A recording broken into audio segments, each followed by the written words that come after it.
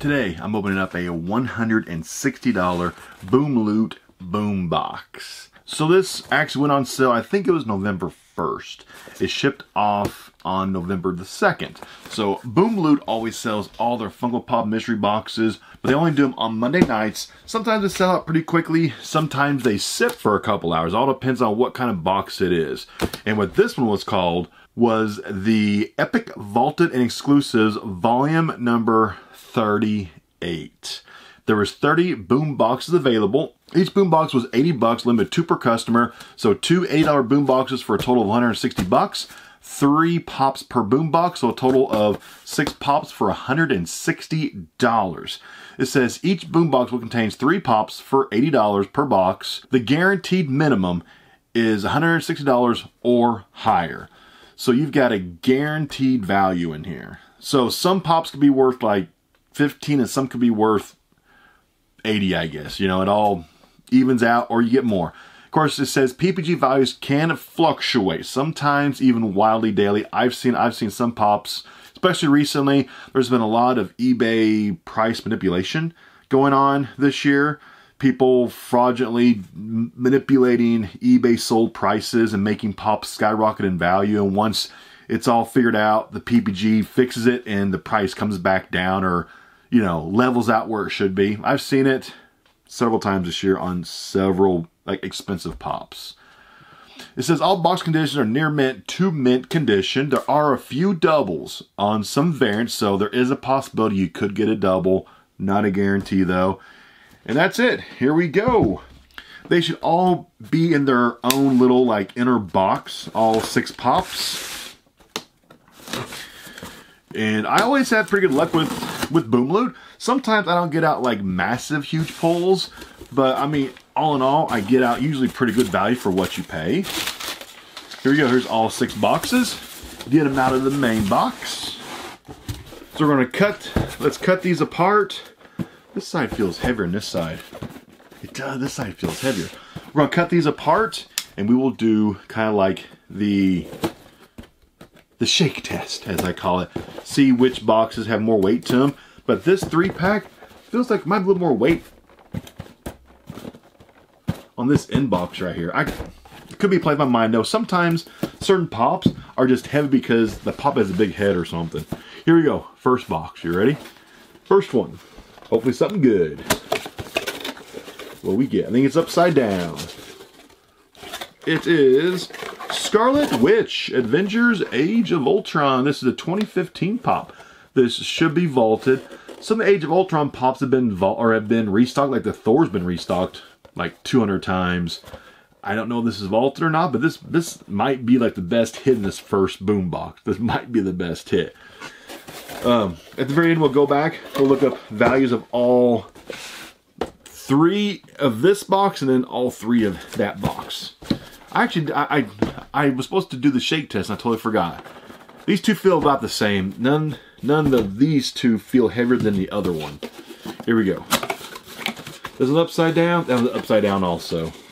What we got? Is that Iron Man? Yes, it is Iron Man. Target exclusive Iron Man. I know the Spider-Man on, on this set, the original run of the Black Glass for Target, the Spider-Man's shop to like, what was it, like 90 bucks now or something like that. It's gotten kind of expensive. And pretty good condition box. First two pops, I'd say pretty solid. Kind of have a Marvel theme going right there, but these are supposed to be pulled at totally random. So there shouldn't really be a theme to these boxes. Shouldn't be. Here we go. Last one. First box. Then we'll see some PPG value. Which one? It is Halo Spartan Mark 7 with shock rifle 2020. Yeah, I'm guessing Scarlet Witch is probably going to be like the big hit in this first one, I bet. Let's see some PPG. First pop, Spartan Mark 7 with shock rifle, a GameStop exclusive from Halo. It is worth a whole $11. Not expensive pop to start with, but it's a guaranteed like $80 per boom box. So these last two would be worth at least like 70 bucks combined.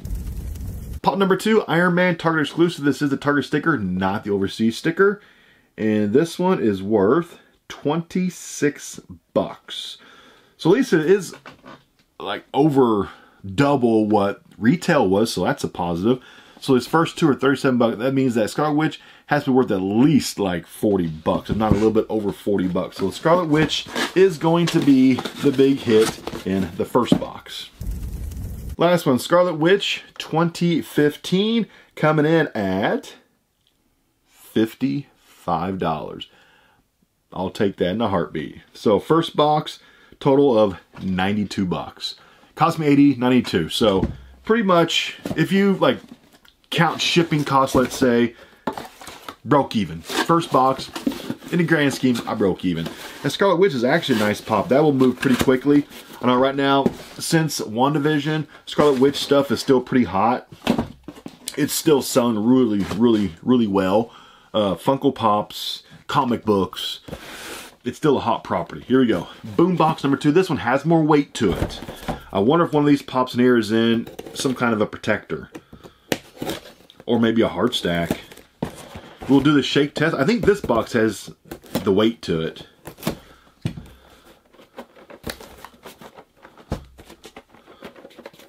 Or my mind's playing tricks on me. This does feel a little bit heavier, but not...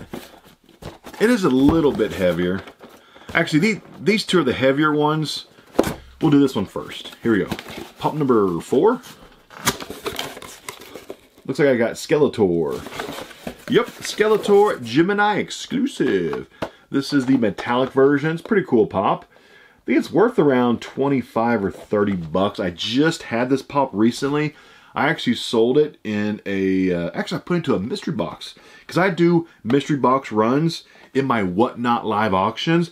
If you haven't already downloaded the, the Whatnot app, there'll be a link down below in the description box to Whatnot. Make sure you download the Whatnot app. I sell all my pops on Whatnot. And this is coming in at 23. This this dropped in value. It was worth, I think, 25. So it's dropped a couple bucks in value. But not bad for, for the first pop. Not bad. Yeah, and all these pops that don't have pop protectors, as always, will be put into pop, will the 7 bucks pop pop shield pop protectors. And also, right now, I actually have a promo code. If you want to get a 100 pack of pop shield pop protectors, use promo code CLINT7. That's Clint the number 7. Get you 7 bucks off of a 100 pack of Pop Shield Pop Protectors through the entire month of November. So make sure you use the promo code for this month because I haven't had a promo code in almost two years with 7 bucks a pop. Promo codes with them are pretty rare. Here we go. Next one. Is this Batman? No, that was Batman from the camera. Uh, Grimlock, Transformers ECCC shared sticker from this year. Probably not super expensive. I could be wrong though. So I have known to been wrong a few times in my life. And let's see, shared, is that it? Shared stickers worth 14 bucks. That's not very much. Those first two pops are, again, $37, which means this last pop has to be worth at least around 40 bucks.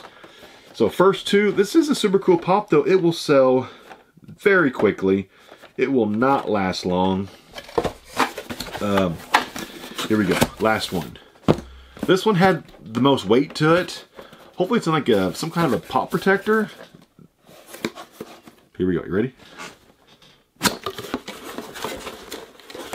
I see Venom. Is it the Chase? Nice. It is. This is the Pop in a Box Venom Glow Chase. Nice. This is a pretty good value to it, but Pop in a Box has restocked this pop a few times on, on the website. Every time they restock it, it drops the value some, and then the value will start rising again on it, and then they restock it and the value goes down.